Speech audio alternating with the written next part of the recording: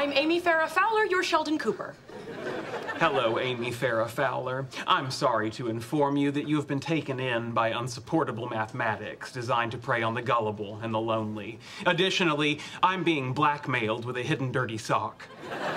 If that was slang, I'm unfamiliar with it.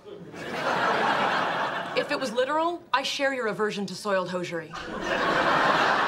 In any case, I'm here because my mother and I have agreed that I will date at least once a year. Interesting. My mother and I have the same agreement about church. I don't object to the concept of a deity, but I'm baffled by the notion of one that takes attendance.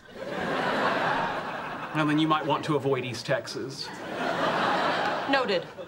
Now, before this goes any further, you should know that all forms of physical contact, up to and including coitus, are off the table. May I buy you a beverage?